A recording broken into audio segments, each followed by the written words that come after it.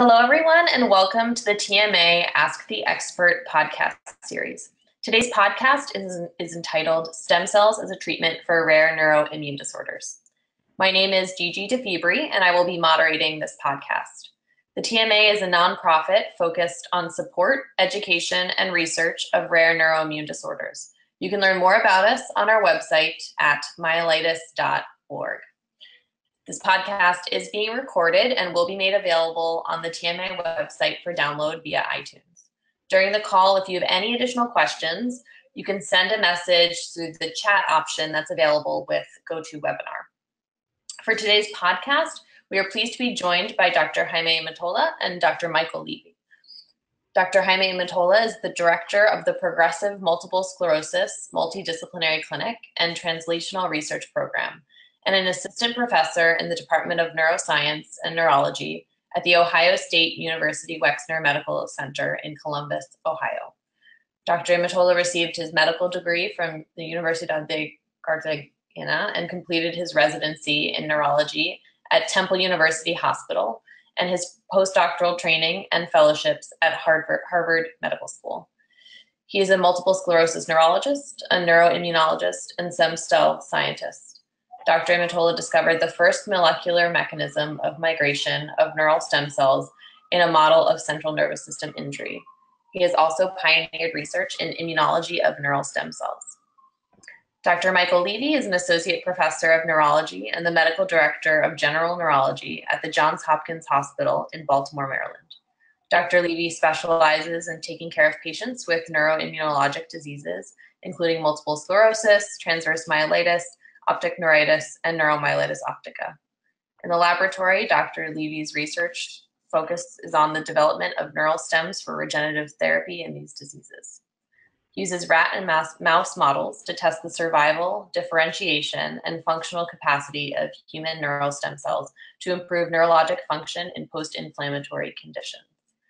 The goal of his laboratory and clinical effort is to translate the basic science stem cell work to a human trial in transverse myelitis and other neuroimmunologic diseases. Welcome and thank you both very much for joining us today. Thank you very much for the invitation. Um, so to start, before we get into uh, the questions, we did receive um, a lot of questions uh, about this very important topic. Um, I would first like to um, turn it over to Dr. Imitola to just kind of give us an overview about stem cells, um, what their characteristics are, and the different types of stem cells. Yep. Well, thank you very much for the invitation, and um, it's very, I'm very glad to be here talking to all of you. Um, this is an important uh, topic, and uh, what I'll do in the next four or five minutes is just to give you an, a, an overview of what these um, stem cells are. So stem cells are cells um, of that are present in the human body, and um, they have a kind of very typical properties. And we usually call it cells with a blank slate because they can do things and differentiate and, and, and other things. But these are very primordial cells. We start uh, our development when we are in uterus basically as a bunch of stem cells. So they, they have four different uh, characteristics or properties that make them very, very important for therapeutic uh, purposes. Number one is, called self-renewal. The, this property is the ability of, of a stem cell to generate more cells like themselves and maintain that blueprint, that ability to be a blank slate. And, and this is a very important ability that we see in, you know, in our brain and in our uh, blood. Uh, we have stem cells uh, in different systems. We have it in the blood we call it hematopoietic stem cells. They are uh, able to generate our blood, our red cells and white cells. We also have it in bone, uh, bone marrow. We also have it in the blood. They are uh, part of the the number of cells that are very rare population of cells, very very rare, but they are there. Now the other um, important characteristics is called differentiation. Differentiation means that these blank slates go and become these cells become from the blank slate to be um, professional cells, more specialized cells, meaning that if he if the cells are going to the brain, then they, uh, you know, they can have then the opportunity to become brain cells. And we have many different brain cells with different functions. And we get all these cells actually when we are, uh, you know, during our gestation and our, our, our development. So differentiation is very important because, um, you know, in, in many diseases, we have problems with that and we want cells that are able to differentiate. The other property that is crucial is called migration. Migration is that these cells are able to go from one place to the other in the body or taking um, you know, positions that are relevant for their function. And they do that because they have some receptors uh, in the in the cells that actually kind of um, sense chemicals that are in the in the blood or in the brain, and they can basically go from one place to the other. So these are the, the four of the three um, main um, capacities that you that you see in, in stem cells. As I mentioned to you, uh, for the purposes of this conversation, I mean, we have our bodies full of stem cells in many different areas, but recently we have been able to generate cells from people, meaning that we can take a adult uh, cell like a fibroblast in your skin, and we can then uh, take this, take the cells and actually transform the cells using some uh, molecules into a cell with a blank slate. And we call this inducible pluripotent stem cell. That's a big or a mouthful, but it's actually a very important type of cell, meaning that now we don't need to use um, anybody's cells, but you can use your own in, in terms of uh, generating cells that are able or may be able to use as a therapy. So in, in conclusion, we have um, all these type of cells uh, in the body. Um, they have different properties, but they are these are the fundamental things that we look for in a stem cells uh, for the purpose of therapy and the purpose of using it in the future. Okay, great. Thank you for that overview. Um, and Dr. Levy, do you mind you know, just adding to that, or and also kind of framing that within you know rare neuroimmune disorders why are, why do we talk about stem cells in, in rare neuroimmune disorders well thank you for inviting me um, we talk about stem cell regeneration in neuroimmunological diseases because generally after an attack of transverse myelitis or an attack in the brain or the optic nerve regeneration um, is limited and patients can make some recovery, but generally not a full recovery. And our thinking is that one of the best ways to improve function is to regenerate parts of those damaged areas. And our, our best hope to do that is with stem cells, either harnessing the uh, endogenous stem cells that uh, Dr. Imitola was mentioning and, and, and inducing them to regenerate, or to transplant stem cells from outside, exogenous stem cells, and program them to regenerate lost tissue. Okay, great. Thank you. Um, and so, you know, we've, as I said, we've received a lot of questions on this topic. Um, and first, you know, we've, uh, there have been several questions that kind of relate to the idea of a cure um, for something like transverse myelitis. Um, is, you know, is this are stem cells you know what we would call a cure or how you know uh, you know and how would something like stem cells affect symptom management or, or the symptoms someone has mike? Is that BGG or who who's that for? Um uh, whoever is you know. I mean you can start mike.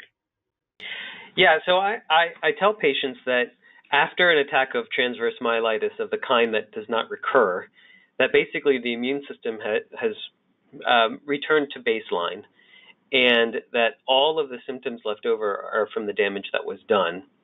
So, in that sense, yes, the cure would be to regenerate and restore that lost function. And stem cells, again, are the best way that we think of, that we know of, to try to improve on that function. Great, thank you.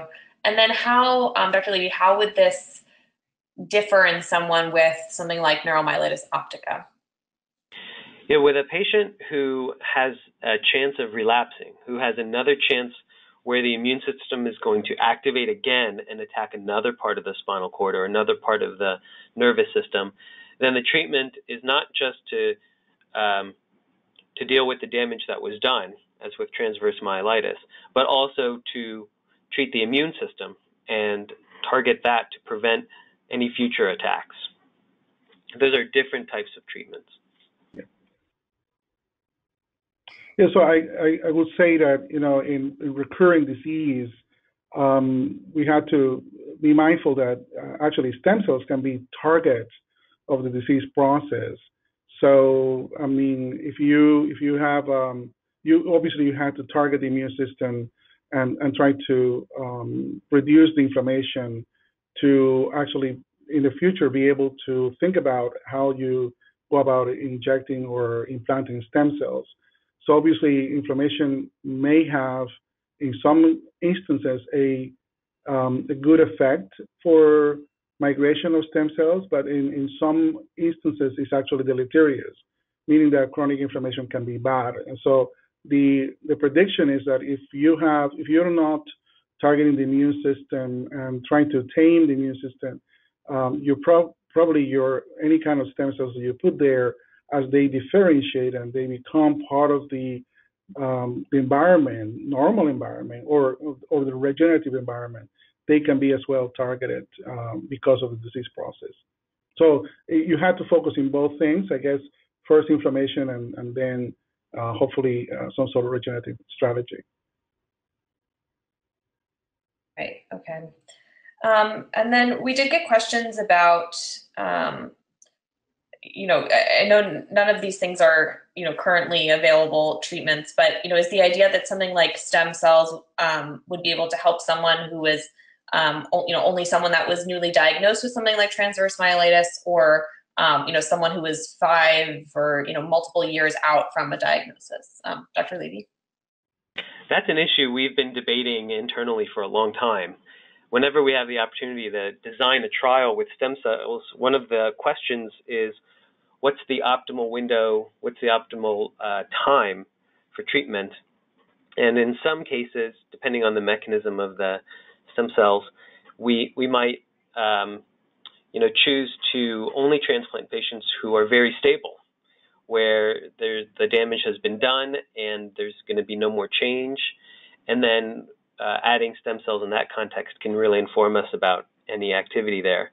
And in some cases, depending on the mechanism of the stem cells, we may want to intervene before any scar tissue develops to optimize the chance that the stem cells will work. And so in that case, that might be within the first six months of an attack. So I, I wouldn't say that there's any um, you know one design that works best. It really just depends on the the mechanisms that we're thinking that the stem cells will have will will, um, will use in their regenerative capacity. Right. Okay. Um, and just kind of backing up, you know, before we go into more of these questions, um, you know, for something like monophasic transverse myelitis, where there was this one attack, um, and uh, you know, as you said, Dr. Levy, kind of the damage there is done. Um, you know, what is the state of stem cell therapies to restore these, um, you know, nerve pathways and function? Um, you know, is the treatment being used anywhere, or is it in clinical trials, or you know, where where kind where is it in, uh, you know, in terms of being used, uh, Dr. Levy? Uh, last count, there were something like 25 worldwide clinical trials that involved transplantation of stem cells, either into the bloodstream or um, into the um, spinal cord or the spinal fluid. And these were worldwide. A lot of them in, in Asia and East Asia and South Asia, and a few in Europe and in the US. Uh, but they span different diseases like multiple sclerosis, traumatic spinal cord injury, and there is one trial in neuromyelitis optica. And you know, anytime there's a new trial, I usually contact the investigators and I say, "Hey, is this spinal cord injury only limited to trauma um, induced, or are you considering also immune-mediated spinal cord injury?" And so far, most of them have tried to limit it to trauma to try to um, keep their study population homogenous. But I do think that we're going to learn a lot from all of these trials in many different diseases and be able to extrapolate from those results to our patients with transverse myelitis and, and rare immunologic diseases. So it's important to stay tuned, and we're keeping our eye on all of these trials because if any of them have a, benef- a benefit in their disease, then we can learn from that and then apply that to transverse myelitis. Right. Okay. Thank you. Um, and uh, Dr. Raymond, do you have anything to add about kind of the current state of research happening? Yeah, I mean, I, I think that um, I'm, I'm more um, more skeptical. Um, you know, even though I spend 70% of my time in, in the research lab doing this um, and working on this.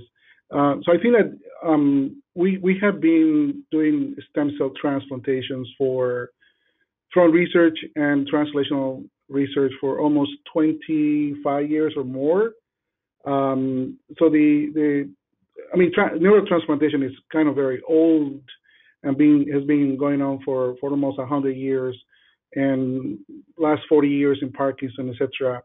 So um, as, as, a, as an important topic to, of discussion, usually among internally among ourselves, is you know the, the, the issues of how we design uh, trials and how uh, what are the goals of the trial. So, I mean, just as a reminder to the audience, um, you know, there are clinical trials and they divide in different phases.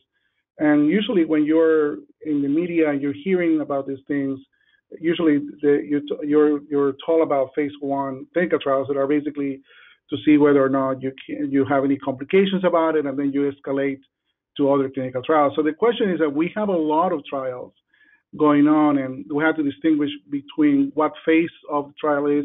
Many of these trials are, are basically trials to see whether there is any complications related to the use of any kind of implantation of cells. And um, it's true uh, that it's happening, um, but I mean, if, you, if we take a page from stem cells in, in, for instance, cardiovascular diseases, heart attacks, and things like that, we have seen the field turning into a very difficult field because we cannot follow what happens there. So we want to learn from those um, trials in other things where there is not a clear pattern or a clear goal of treatment. So first question is, um, you know, if you have any therapy, uh, are you getting worse or you have any complications? Um, you know, the majority of these trials, the majority of cell therapy doesn't cause any harm to patients. But the reality is, what is the um, success? Meaning, do you get improvement? How do you um, design the trial to to to obtain that data? And that's where the the difficult part is. So that's one thing that I want to say. So yeah, we wait. We will wait for for trials in, in many different places.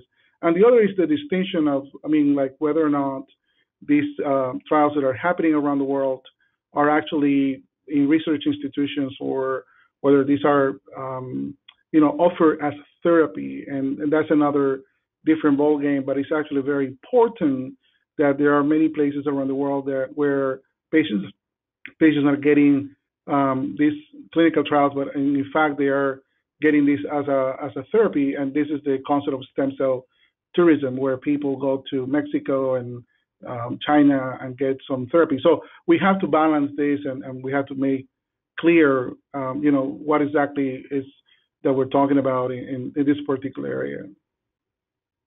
Right, right. That's a good point. I mean, I, I do, uh, you know, we do receive a lot of questions from people about traveling um, outside of the U.S. and actually within the U.S. as well um, to receive, you know, stem cell treatments. They're called, um, and so you know, it, it's uh, there, I know there's a lot of places out there.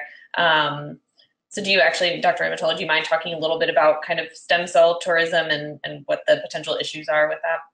Yeah, so um, yeah, so you know, it's every patient with uh, transverse myelitis or neuromyelitis optica or, or bad MS, um, you know, we see them in clinic and they always want hoping for a cure. We are also are hoping for cures and we have you know different kinds of medications. But at the end of the day, as Dr. Uh, Livia alluded, I mean, when you get uh, this injury, you get a lot of symptoms and you can get a lot of disability. So, I mean, it's understandable that there is a great hope to get rid of that and, and move on with your life. So um, there is a concept called therapeutic hope, and that is, the concept is that patients are they will do whatever they I mean they can to uh, help their family members or go anywhere they can to obtain the cure, and uh, and that's a, a driving force um, uh, for for stem cell tourism. And then in the other side of the of the coin, there are these people um, that are offering many different kinds of things from injecting your your fat cells into your brain or your spine all the way to electromagnetic therapy you name it. I mean we have a, a, very a big variety of things. And and that is very significant because it's not harmless. Not only because i mean there, there is an issue of harm but also the issue of um, exploitation patient exploitation. So yes as a physicians we're really interested in advancing the care and advancing the research. But there are probably probably other people that are maybe they are not in the same, they have the same interest and they are trying to take advantage of patients. Um, you know, and you can actually go to the web and find out uh, any kind of stem cell therapy for neuromyelitis optica, and you know, and and they will charge you a lot of money, and nobody knows whether or not that works in, in your particular case. So there is a distinction between um, these things and uh, you know what we see in places in, in big hospitals like prospective clinical trials with the stem cells. That's a big difference. Right. And is there is there a way to you know if someone is interested in um, participating in a trial or uh, you know they're looking for something to kind of figure out what these sort of more legitimate you know actual prospective trials are versus something like a um, stem cell clinic? Yeah. So, I mean, for instance, um, in my in my humble suggestion or opinion is that, for instance, if you, I mean, I don't know about neuromyelitis optica because I don't see as many patients as Dr. Levy, but he's an authority, he's a worldwide authority. In my case, in MS, I know what clinical trials are happening. So you have to find a trusted doctor of a reputable institution so you can ask these questions. Uh, so I, I, I, I know that Dr. Levy has and getting emails every week and phone calls and people asking me for where do I go for a clinical trial for for neuromyelitis optica. The same happens to me. I get at least three emails per day asking me the same questions, etc.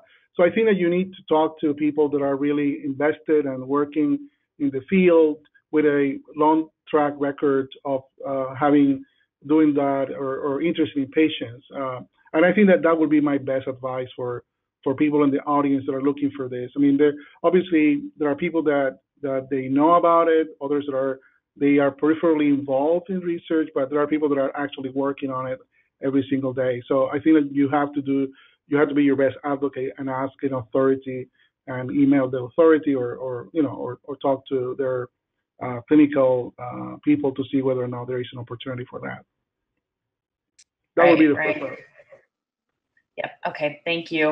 Um, and then going back, um, Dr. Levy, um, I know that you uh, we did have one kind of follow up question to um, when I asked about kind of what the current state of, of research is, um, and you mentioned that there is one trial for NMO. Um, do you know a little bit more about that trial or, or where it's located and information about that? We have one question about that trial in particular.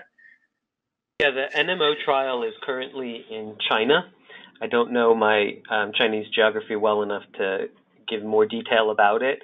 I know that um, they they have they are in the process of um, publishing some of their data. I think interim data, and uh, I did get a look at that. I think it, it is public information, or it will be soon, and it looks uh, potentially helpful, maybe uh, uh because of its benefit on the immune system. Because an NMO, you do have to target both the immune system and the nervous system. And so it did seem to have some benefits. Um, we'll have to see what the final data show, but um, I would remain hopeful. Um, yeah. Also, I would say that in in a lot of these trials, you really have to wait for enough time to pass because in a lot of uh, transverse myelitis cases, if you treat too soon and then say, "Wow, look at how well these patients are doing," some of these patients are going to be recovering uh, partially anyway. And so it's hard to know how much of the recovery is due to the stem cells and how much is due to the other treatment or to just to time and rehab. So, um, you know, some uh, I, I I remain hopeful, but I would also remain um, just cautious about how these results are interpreted. Right, right, and that also goes back to um, I think what Dr. Imitola talked about um, in terms of figuring out the outcomes that are being measured um, to measure success in these trials as well.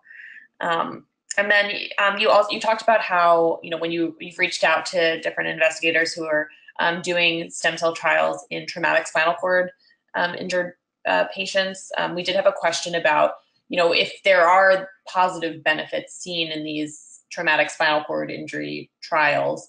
Um, will we have to do additional trials to apply these benefits to non-traumatic spinal cord injuries, like with someone with transverse myelitis, um, or uh, you know, how how would that work?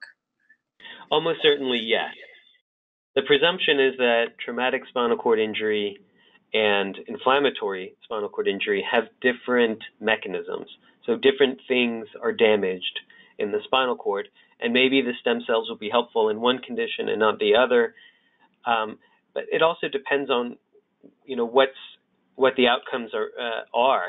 So, for example, um, when we do studies in um, traumatic spinal cord injury in animals, we have the benefit of looking at the pathology and saying, okay, the stem cells turned into, you know, whatever kind of cells, and they helped remyelinate.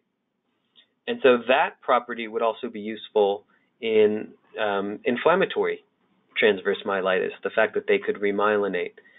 So this is in, in animals, and uh, I'm just um, giving an example of the kind of analysis that would be helpful to extrapolate to inflammatory spinal cord injury. Now, in, in traumatic spinal cord injury trials, we won't have the benefit of sacrificing human patients to see what kind of mechanisms are at play, um, but there are MRI and other indicators that may be helpful. Right. Okay. Thank you. Um, and uh, we also got a question about, you know, are there's uh, there's you know are there specific stem cells that are expected to have the best kind of therapeutic outcome um, in these disorders, Dr. Imitola? Yeah. So I think that's a great question because. Um, you know, we we struggle uh, in the field of stem cells, and every year we have this international stem cell research symposium and we get like 35,000 people around the world thinking about these issues. And I mean, the, the, the stem cells, different stem cells may have different um, possibilities. For instance, um, the, the famous um, pluripotent stem cells, I mean, the cells that are very, very naive and um, very uh, embryonic, they, they have the tendency when they are cultured in, in vitro or expanded to actually acquire a bunch of different uh, aberrations, genetic aberrations in vitro. So certainly you don't want to put those in a patient's spine. Um, in addition, we have seen from actually data from the spinal cord injury that depending of um, so there, there are occasions where um, stem cells may start actually integrating normally, but there are other uh, cells uh, or cell lines that are that they cannot stop proliferating. So, I mean, one of the things that, as I mentioned in the beginning, is that you want, hopefully, that when you put, let's say, 50,000 cells, that these cells they become immediately something differentiated, and they are they will start to uh, you know to go to become neurons or astrocytes, the cells that you need, the cells that are actually altered. But if the cells cannot stop proliferating, then you have a problem because you you basically have a unstoppable proliferation and probably you have a significant issue there that you need.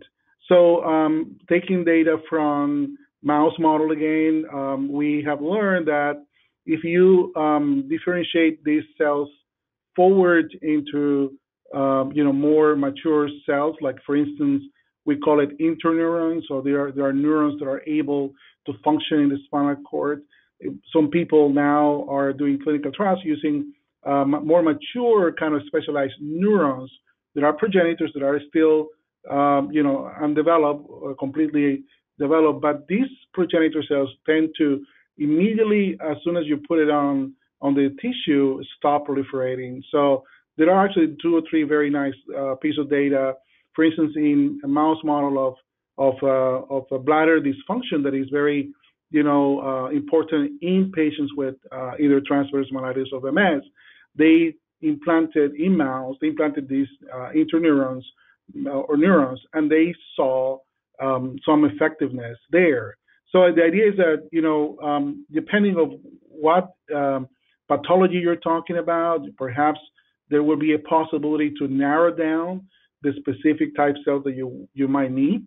For instance, in the case of uh, MS and, and perhaps demyelinating disorders, you want more uh, oligoprogenitor cells, meaning the cells that will become oligodendrocytes. So, but all of these require cell culture and manipulation in vitro. So we we are a, a very long way to um, provide, um, you know, um, a complete complete um, clean um, culture that uh, doesn't allow the cells to to kind of get um, genetic variations. So it's a long, long explanation, but I think that this is a very important question that we need to entertain. Now, there are other people that says, well, you know, if you want to tame the immune system, perhaps you use some of these mesenchymal stem cells, etc. But again, uh, you know, we already have uh, powerful immunomodulators. So the question is whether you want that infusion of cells that will have a very narrow um, therapeutic effect only in the immune system. So that's that's an open question. Right, right. And you know, relatedly, do we do we have any advances in kind of understanding how these cells would affect something like the immune aspect of these um, disorders, or you know, the formation of scar tissue, or you know, how cells migrate? Yeah, so yeah, we do. I mean, um, for instance, um, there is an Italian group uh, in 2010 published this very nice work suggesting that um, um, surprisingly, some of the stem cells preparation actually they have this powerful immunosuppressor effect in animal models. We um, also participated in this research and we demonstrated that yes, indeed, um, some even neural stem cells can modulate the immune system, um, and they do it through actually some products that they, they produce. We call it cytokines, and we, there is a famous cytokine called LIF, or leukemia inhibitor factor, that is released by um, stem cells that actually have a powerful effect in taming this, the immune system. So you can argue that you know if you don't want the cells, you probably have uh, you can you can deliver that potential cytokine in, in some patients. So I think that the stem cells can be helpful as well to learn more about how to use uh, or develop new therapies that can maintain the immune system. So yes, we, we're learning a lot about how the interaction between the stem cells and the environment. GG, can I add one thing about that? Yeah, yeah. We had a conversation recently with the FDA about a, a stem cell trial, and their concern was that the stem cells that we would transplant could trigger the immune system to attack again. Mm. So even in patients who've only had a single attack years ago, they were concerned that if we put in a foreign substance into their spinal cord, exogenous stem cells that came from, you know, some cultured preparation, that it could uh, be sufficient to trigger another attack of transverse myelitis in the same location, but it could cause more damage. Yeah. And so they asked us to look for evidence of an immune reaction a previous immune reaction to these stem cells.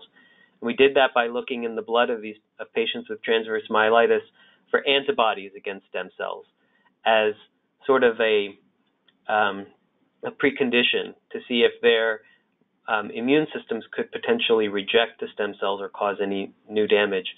And to our surprise, we found that about 12% of patients have antibodies against these stem cells.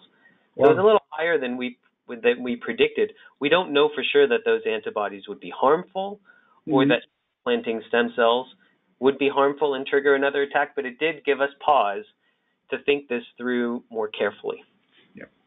So, and, and this is a, a wonderful example of, you know, going back to the bench to answer this question. I, I am happy that the FDA asked that question because I mean it's a fundamental question, right? For instance, uh, my first paper that I published actually asked the question that particular question um, when I was in Boston. I mean whether or not cells were able to in, in generate immune uh, reaction themselves, and and they have in certain circumstances that ability. So it's not surprising to me that you get uh, that particular result. So, uh, but but that is strength um, the the translational aspect of the work that we do.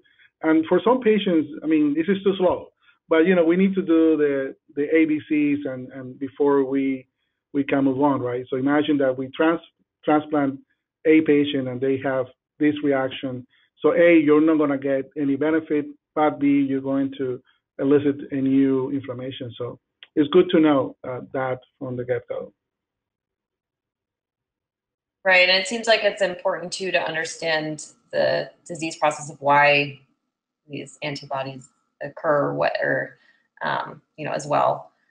Um, and um, let's see, um, we also you know got a question about um, you know is is there variation within different transverse myelitis patients or patients with neuromyelitis optica that um, you'd foresee the need to have different stem cell types for different people?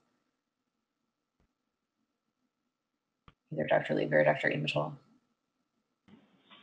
Um, yeah, I would I would say that in the future we'll be able to tailor the stem cell product to the uh, pathology of the patient. So some transverse myelitis patients have mostly a demyelinating picture where the, the missing uh, component is myelin, and so that's what we need to regenerate.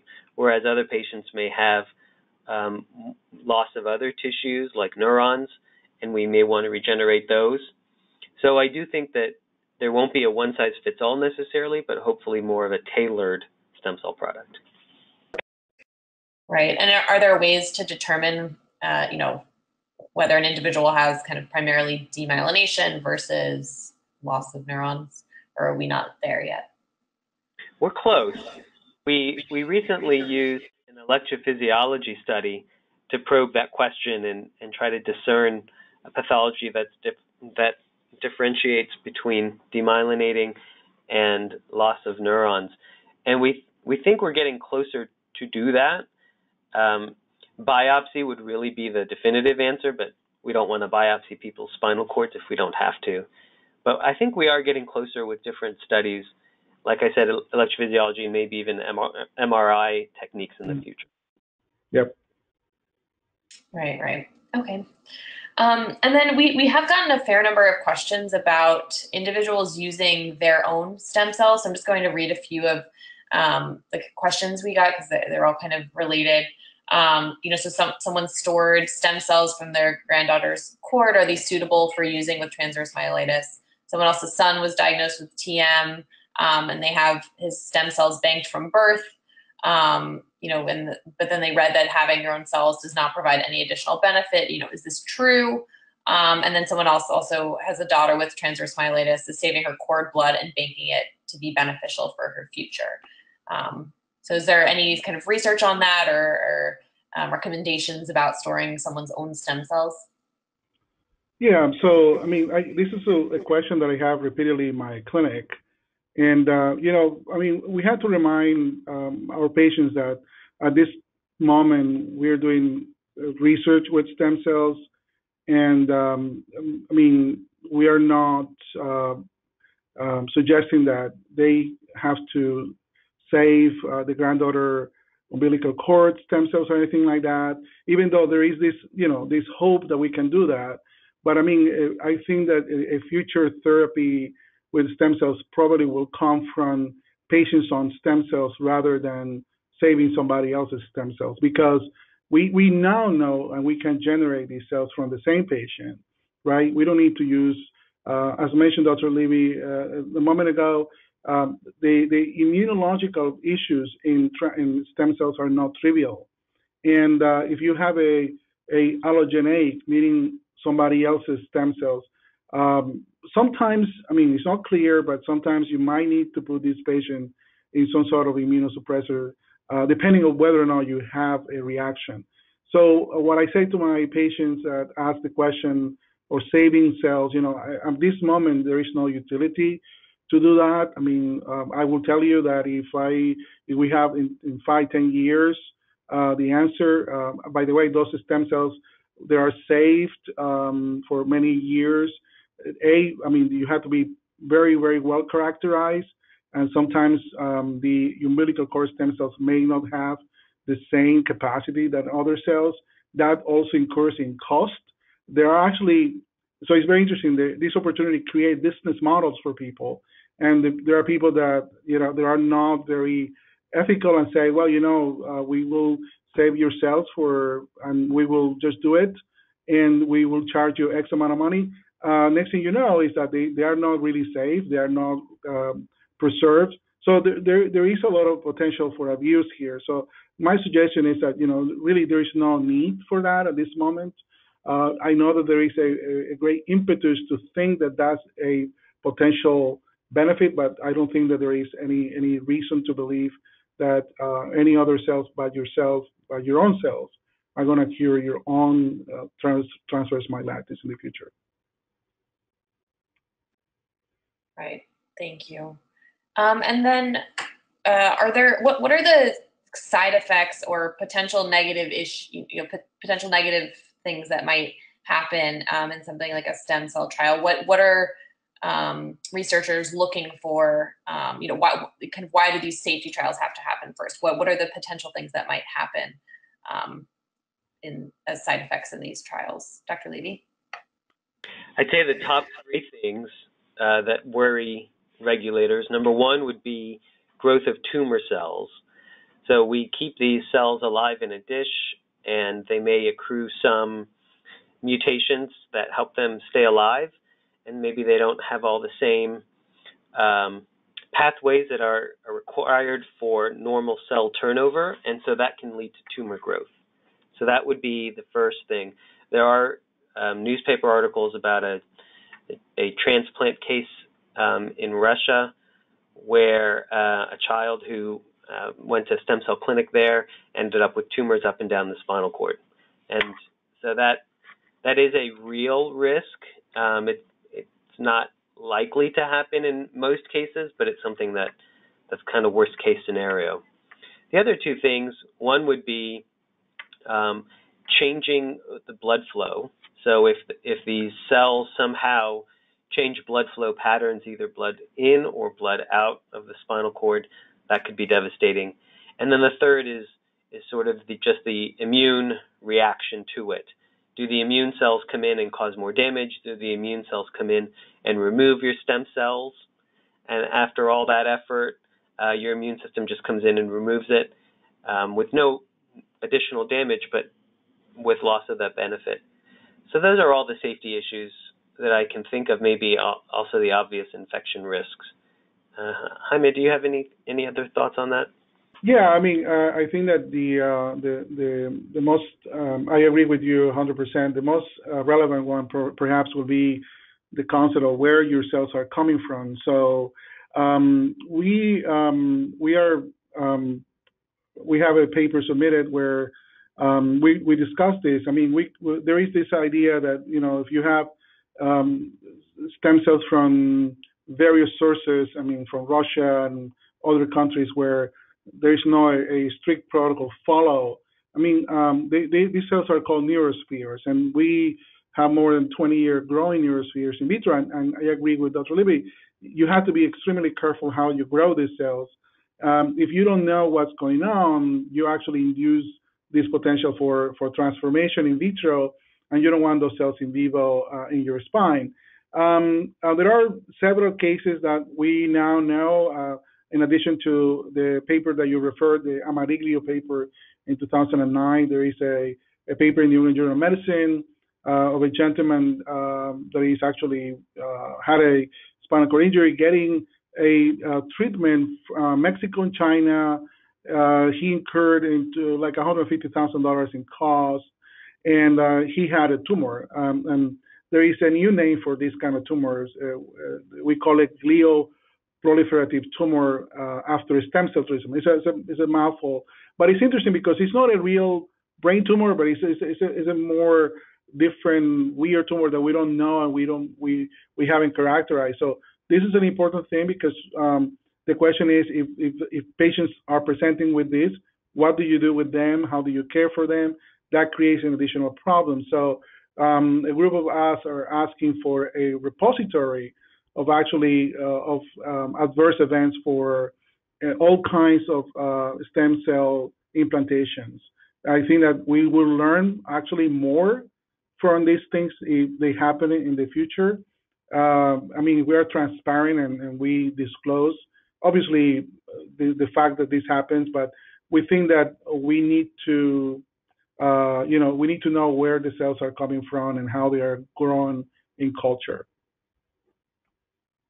Right. And if someone, you know, decided to to go somewhere for stem cell tourism and then had kind of this some sort of negative effect, I mean, would that, you know, potentially make them ineligible for trials in the future or um, does, does that have any sort of effect on on that? Yeah, I mean, we don't know. I mean, if you get a a, a, a cell that nobody knows where exactly what kind of cell, or for instance, one of the key issues in that particular case that as Olivi alluded, was the lack of documentation. So the cells were generated uh, in Russia.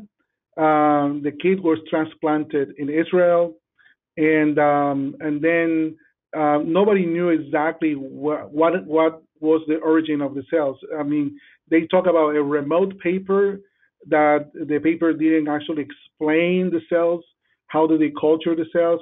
We, um, since I'm interested in this subject, um, we kind of investigated with the published literature, and we found that there's not really documentation of that particular cell uh, in, in, in, the literature or anywhere.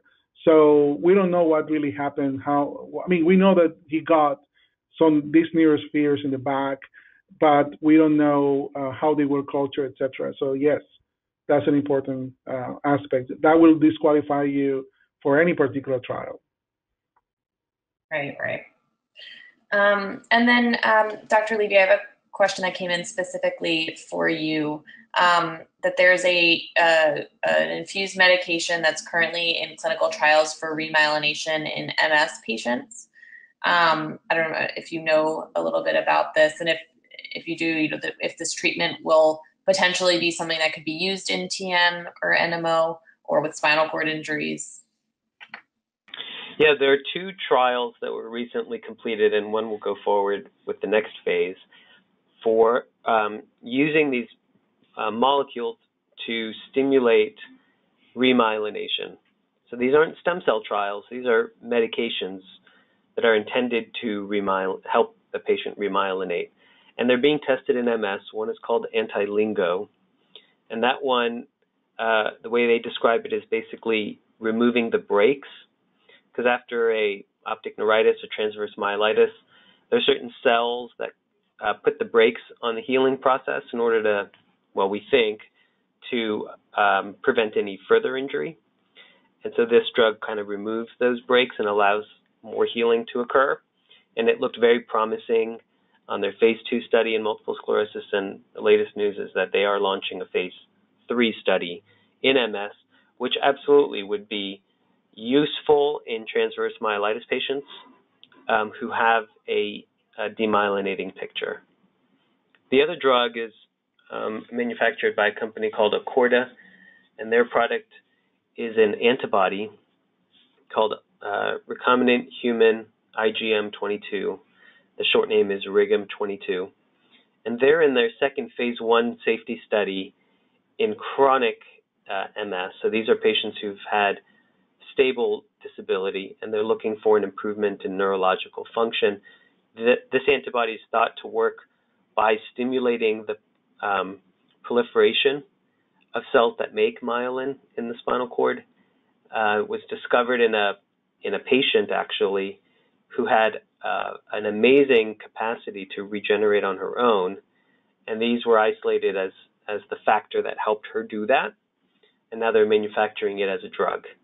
So this would also be useful in transverse myelitis, and it's important again to keep an eye on both of these trials uh, we most of the time in rare diseases, we first extrapolate from trials in common diseases, and we use many off-label products. So this is exactly how uh, the direction of the f- normal flow of information.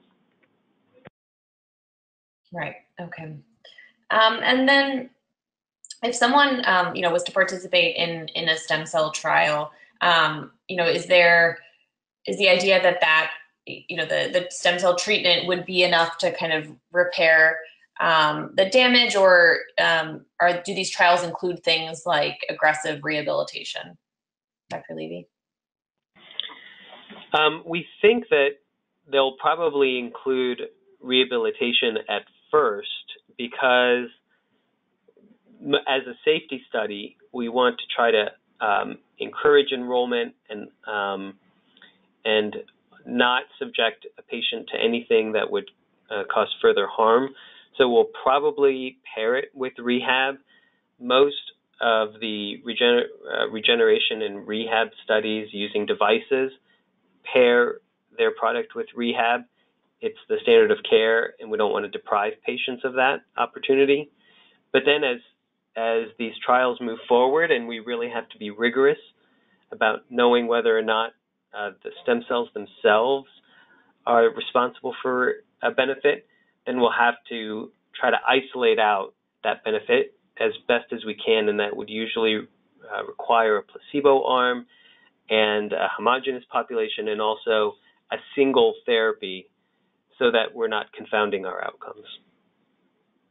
Right, and would that be, you know, as you said, that you, you know, rehab is kind of the standard of care in that sort of uh, scenario? Would that just be with people who have, you know, had a diagnosis several years ago rather than someone who was just diagnosed? or would that sort of trial occur in recently diagnosed people as well? It, it could be in, in either population, just depends on the mechanism of the stem cells. Right. Um, and then, um, Dr. Imitola, we've talked a little bit about, um, you know, participating in in trials, and we've we've gotten um, a lot of questions about kind of affordability of treatments. Um, and so, you know, if someone is, wants to participate in a clinical trial, um, you know, do they have to pay to participate? Is you know, is is volunteering the, you know, just uh, if you talk a little bit about kind of how you know someone could participate and what would be required of of them in terms of the financial commitment, and then um, if this if stem cell treatment kind of became the norm, how that would um, you know affect insurance and stuff. Uh, okay, so I mean, um, I think that it's important to express that ethically, um, there shouldn't be a quid pro quo or any kind of um, uh, ethical issues for patients to be part of clinical trials, meaning that you know they have to pay for participation in clinical trials. I mean, when we do clinical trials here, um, uh, I mean, I mean, the patients don't pay; we pay them to participate if that's allowed by the IRB, etc. Um, they probably have to pay for transportation, but um, I don't think that. I mean, I, I understand in this particular field in different places there have been some concerns about some places and people, uh, you know, uh, requesting upfront um, monetary contributions so the patients can participate because uh, they have to you know pay for for all the all the processes. But that's what we write grants, and we obtain grants from institutions like the NIH and other institutions, so they can they can uh, you know uh, fund the entire operation. So we don't have to ask people for paying uh, any of that. For instance, uh, just to give you an example, there is a trial that uh, we are involved. It's a hematopoietic stem cell trial. Um, and uh, I mean, we have participated here, and uh, the patients, you know, they come and they they get well, they got several years ago um, the bone marrow stem cells in MS, and you know they they don't have to pay for the for the trial. So I don't think that's a great idea because I mean that puts um, a lot of pressure in people. Um, in the same idea, um, um many other institutions even outside the United States, doing clinical research that is not IRB approved are actually um, getting the interest to participate in these things and bring patients from the United States to do, for instance, bone marrow transplant in MS. Um, and the patients have the patient has to pay for the travel and stay, and there is a monetary uh, benefit for the for the hospital. So I think that this this goes into this very fine line of ethical behavior in in clinical research. So in principle, I don't think that people have to pay for participation. That's what we do, the, the writing of grants, so we can, um, you know, we can support that. Um, and when this becomes, um, hopefully, a medicine, we have to actually prove that the medicine, uh, or, I mean, the stem cells are um, equal or having the same benefit of a standard of care. And you know, in case of MS, we we have uh, prospectively there is a trial that will we we will compare uh, bone marrow stem cells versus um, any other uh, infusion therapy. It will take some years, I would say probably the three or four years to know the answer of that. But I, I think that we have to be just cautious and hopefully obtain good data because you don't want to you don't want to uh, you know uh, say that this is going to be helpful and at the end of the day there is no really benefit for the patients. Right, right. That makes sense. Um, and then, Dr. Levy, you talked a little bit about the remyelinating um, trials and kind of um, if you could just talk a little bit about the difference between something like a stem cell therapy and just a cell therapy, if that makes sense, because um, we have gotten some questions about the upcoming um, Q Therapeutics trial. Um, so if you could just talk a little bit about that. Sure. Cell therapy usually refers to using a cell to uh, accomplish a task. So there are a lot of cell therapies now being developed that can seek out uh, cancer cells, for example, and then those cells help eradicate the cancer cells. Or there are other cells that are being used to produce proteins and other factors that are helpful. So you're using cells to accomplish a task that we used, used to accomplish with drugs. That's cell therapy broadly. Stem cell therapy, narrowed in, is more of using cells that are in a uh, de- in a um, de-differentiated state, uh, an earlier state in, in in development, using those kind of cells to try to regenerate um, some sort of lost function. So they're a little bit different in terms of how we use those terms, but stem cells generally refers to um, the type of therapy that we've been talking about today, whereas cell therapy has many broader uses and not necessarily regenerative. Right. Okay, that makes sense. Um, and we, we only have a few more minutes left. Um, I did want to also ask Dr. Levy a, a little bit about, um, you know, what are some of the indicators that, um, you know, would be used to kind of measure the success of stem cell therapy? Would it be um, things like uh, motor function or uh, bladder and bowel dysfunction, um, issues like pain, or you know, what what kind of outcomes um, would researchers be looking at in these trials? That really depends on um, how we design the trial. Like um, in the beginning, I think most patients are going to be transplanted in um, in or below the level of their previous attack. And so that's designed to restrict, restrict any further damage to just that part of the spinal cord that may not be necessary. So the outcomes are going to be really, for safety, they're going to be hopefully nothing went wrong, nothing got worse. Then as we move on, um, I think most outcomes are going to be tailored to the problem. So patients who have sensory loss, they're going to be evaluated based on their uh, ability to, to feel things patients who have motor loss, they're going to be evaluated on their ability to move things. So I think it's going to be oriented to the loss of function of the specific case, and that'll include bowel and bladder function as well. Great. Okay. Um, and so we are, you know, at, at the end of our time. Um, is there any other additional um, points either of you would like to make that we you know, kind of haven't covered in this hour?